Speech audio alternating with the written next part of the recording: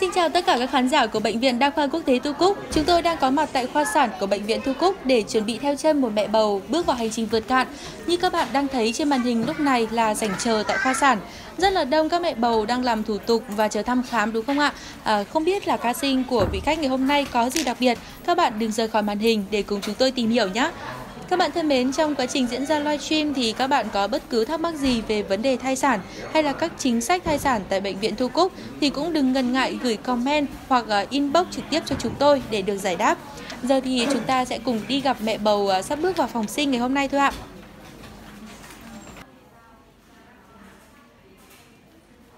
Vâng, mẹ bầu của chúng ta đây rồi. Hai vợ chồng anh chị đều đang rất là bình tĩnh trước khi bước vào phòng sinh.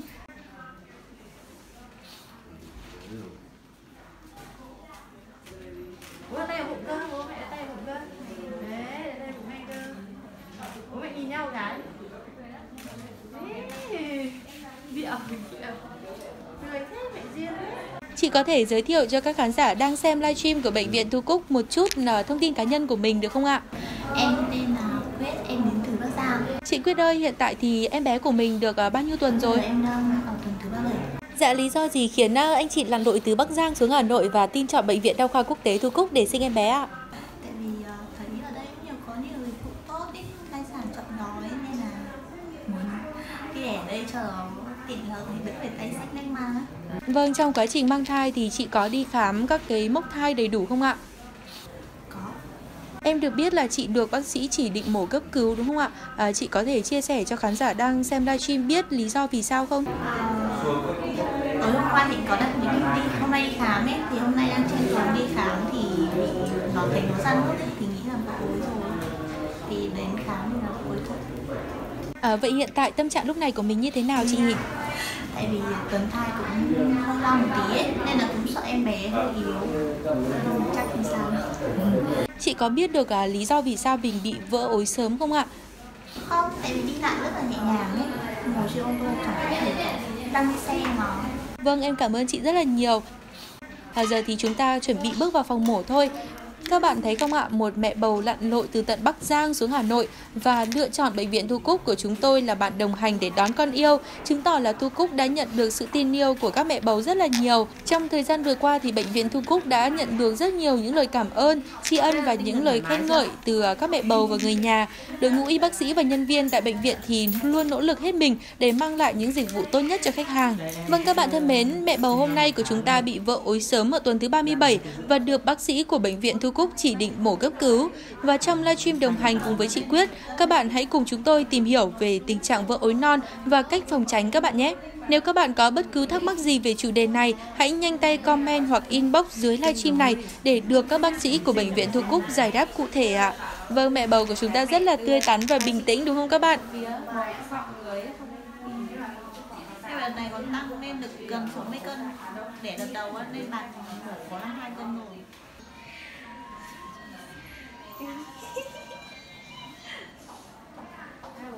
trẻ Anh xem 93 đúng không?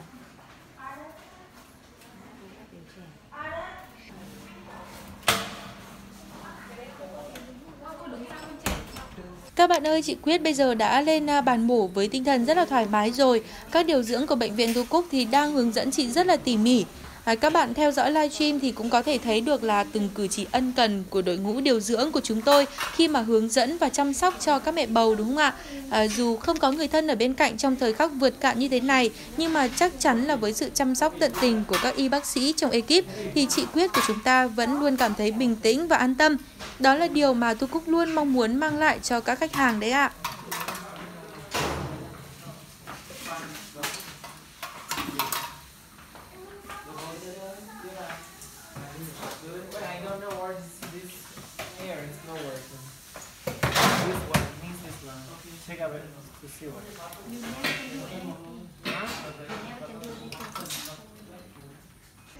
Như các bạn có thể thấy trên màn hình thì các bác sĩ đang chuẩn bị gây tê tủy sống cho mẹ bầu của chúng ta.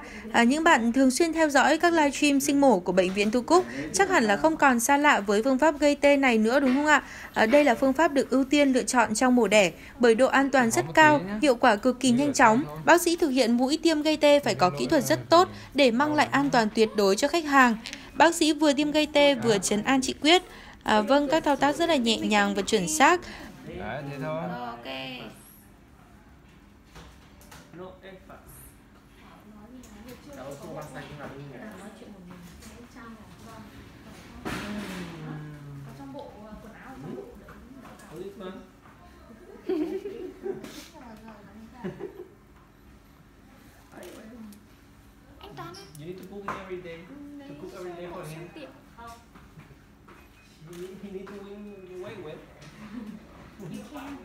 Vậy là chị Quyết đã được gây tê xong, chuẩn bị bước vào quá trình mổ sinh em bé rồi. À, các bạn thân mến, chúng tôi xin được nhắc lại một lần nữa là chủ đề livestream lần này là vỡ ối non và cách phòng tránh. Mẹ bầu của chúng ta hôm nay à, vỡ ối ở tuần thứ 37 và được các bác sĩ của bệnh viện Thu Cúc chỉ định mổ cấp cứu. Trong quá trình diễn ra livestream thì các bạn có bất cứ thắc mắc nào về vỡ ối non và các gói thai sản tại bệnh viện Thu Cúc thì hãy nhanh tay comment ngay dưới livestream này để chúng tôi giải đáp nhé. Vâng và xuất hiện trên màn hình video của chúng ta là bác sĩ Robin, à, một trong hai bác sĩ phẫu thuật chính cho chị Quyết ngày hôm nay đấy ạ. Bác sĩ Robin là một bác sĩ sản khoa quốc tế giỏi, từng làm việc tại rất nhiều bệnh viện lớn trên thế giới. Và khi tới Việt Nam làm việc thì bác sĩ đã lựa chọn bệnh viện Thu Cúc để phát triển sự nghiệp. Chuyên môn và sự tận tâm của bác sĩ đã được mẹ bầu tại Thu Cúc truyền tay nhau. Chính vì thế mà bất cứ ai được bác sĩ Robin khám hay là đỡ đẻ, mổ đẻ thì đều rất là yên tâm và hài lòng. Còn người vừa bước vào phòng mổ chính là bác sĩ Tuấn Minh, trưởng khoa sản của bệnh viện đa khoa quốc tế Thu Cúc. À, bác sĩ Minh thì nổi tiếng là một thầy thuốc tài năng và rất tận tâm.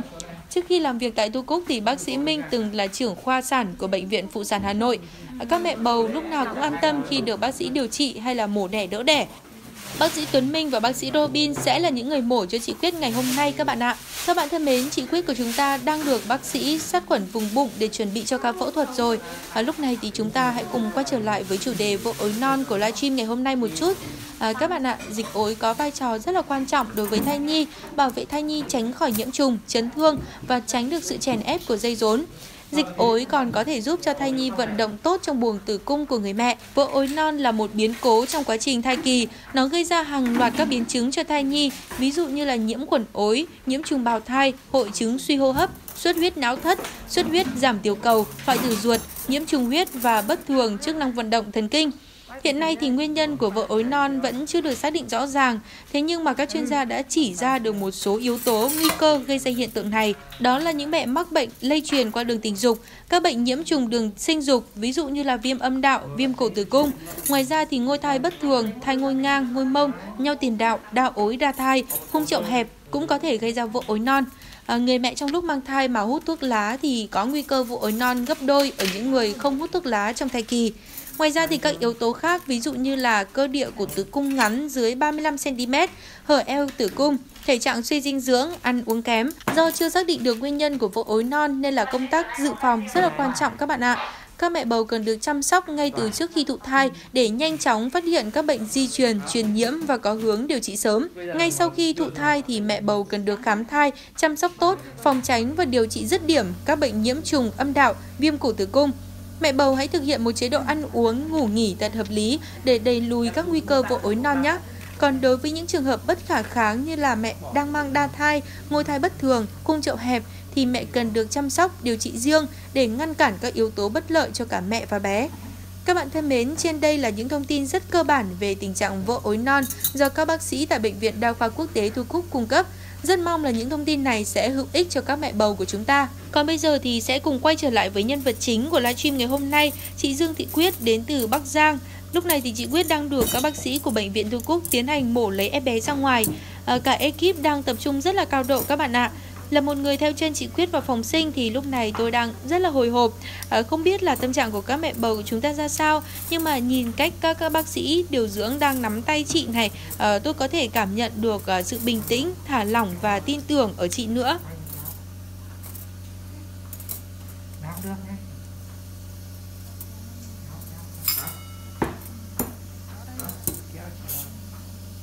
em nhìn đấy, em đi nhìn đấy. Không sợ.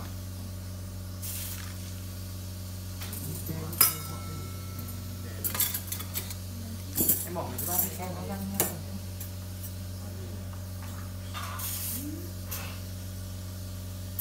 Bỏ cái bát lên kẹo cua của cái đồ. bàn tiếp của em nó gội nó chưa sắp được nồng này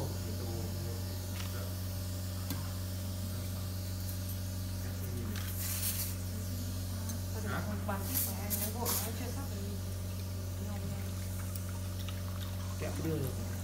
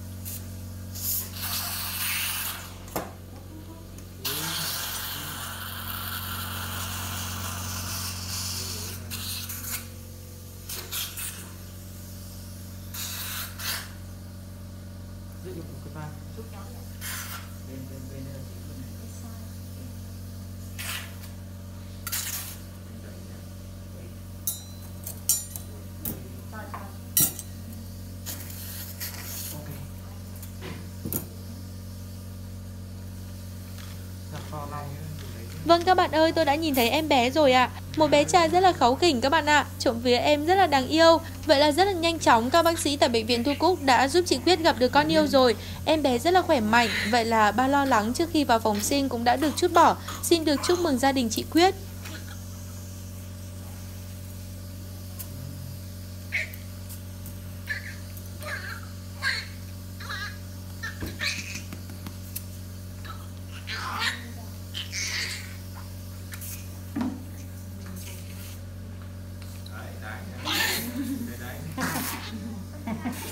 Em bé lúc này thì đang được các bác sĩ chăm sóc các bạn ạ. À, em bé đã được lau sạch người rồi. À, tiếp theo bé sẽ được khám và đo các chỉ số sơ sinh. Đấy, cái khổ. Xuống gấp bố rồi. Ừ, xuống xuống nhé. Hả? Gấp bố mà. Vẫn khó khè. Quần áo mà.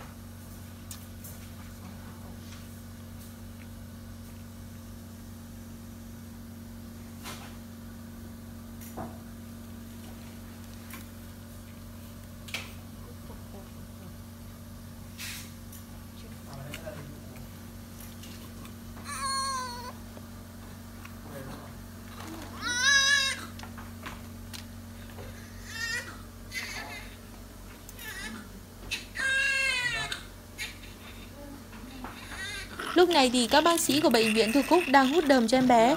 Việc hút đờm nhớt cho bé sinh mổ rất là quan trọng và cần phải thực hiện cẩn thận kỹ càng. Và các bạn có nghe rõ không ạ? Em bé của chúng ta đang khóc rất là to.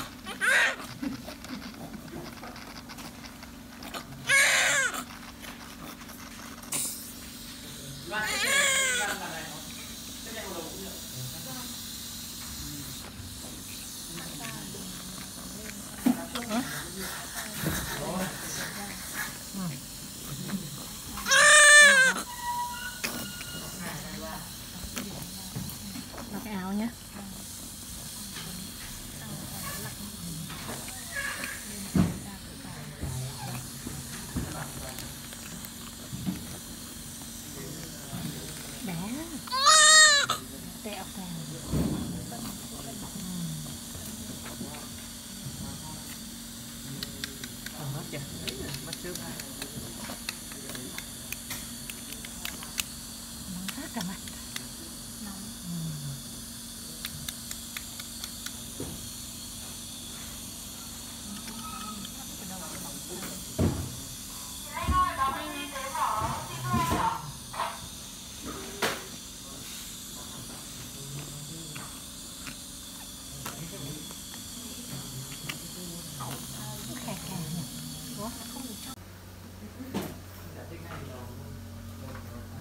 Em bé của chúng ta nặng à, 3 kg các bạn ạ, trộm vía. Bé được 37 tuần tuổi và chào đời với số cân nặng như thế này cũng rất là tốt rồi đúng không ạ? Lúc này các điều dưỡng của bệnh viện Thu Cúc đang đeo vòng định danh cho chị Quyết và em bé được chứng kiến tận mắt tất cả những quy trình từ đầu đến giờ thì tôi thực sự rất là xúc động à, xúc động khoảnh khắc em bé của chị Quyết chào đời và đặc biệt là trước sự à, tận tâm ân cần mà ekip mổ dành cho chị Quyết của chúng ta tôi có thể cảm nhận được là hành trình vượt cạn của chị Quyết đã có những người bạn vô cùng tài giỏi và tận tụy và đây em bé của chúng ta đã được ra gặp mẹ rồi ạ à. Nhìn gương mặt và nụ cười rạng rỡ của chị Quyết thì chúng ta cũng đủ hình dung ra niềm vui khôn xiết của người mẹ khi mà được gặp con yêu sau bao ngày mang nặng đẻ đau. Mọi người hãy cùng gửi lời chúc mừng đến cho chị Quyết và gia đình nhé. Bây giờ thì em bé của chúng ta sẽ phải à, tạm xa mẹ một chút để xuống gặp bố ngay bây giờ đây ạ. À, trong lúc đó thì chị Quyết sẽ được các bác sĩ của bệnh viện Tô Cúc chăm sóc vết mổ. À, tôi đang cố hình dung ra tâm trạng của ông bố trẻ khi mà được gặp con yêu lần đầu các bạn ạ.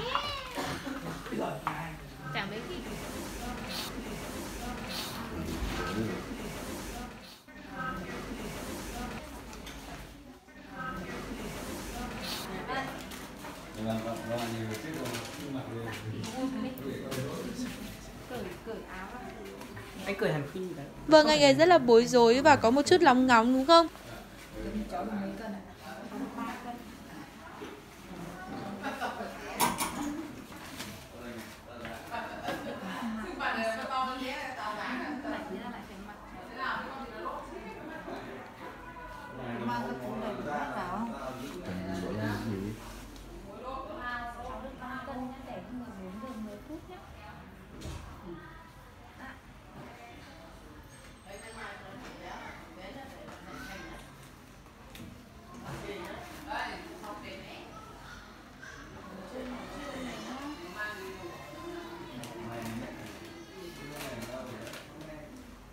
À, bé đang được áp ra với bố.